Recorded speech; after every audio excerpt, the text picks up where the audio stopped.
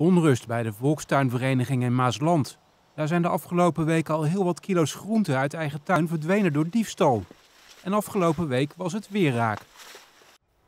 Bij de laatste rooftocht wordt uit zeker drie tuinen heel wat groente en fruit weggehaald. Ja, je mist altijd wel eens een koosje, maar nu was het echt een heleboel tuinen tegelijk. Dat hebben we niet eerder meegemaakt. Enig Nee, idee wie het gedaan zou kunnen totaal niet. Er stond dus eh, een, een, eh, een, een peen die ik van plan was te gaan oogsten. En eh, daar was de noodzaak niet meer toe aanwezig, want de peen was weg.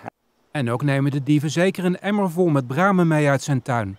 De handschoenen die ze daarbij gebruikten liggen er nog bij als stille getuigen.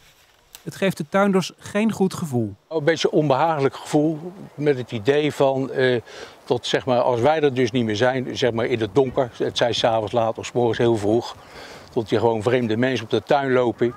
En die dan inderdaad onze hobby een beetje lopen te verpesten om inderdaad de spullen te gaan lopen jatten. Ik zeg het gewoon maar jatten, want dat is het ook zo. En volgens deze tuinder is het niet de eerste keer dat er ongewenste bezoekers zijn. Dan kwam ik eh, op het pad kwam ik twee buitenlandse vrouwen tegen en daar staken de prei uit de Albert Heijn tas. Nou, je hebt hier geen Albert Heijn, dus ik denk, je hoeft niet te vragen waar die prei vandaan komt. Dan hebben ze op deze tuin hebben ze aardbeien geplukt.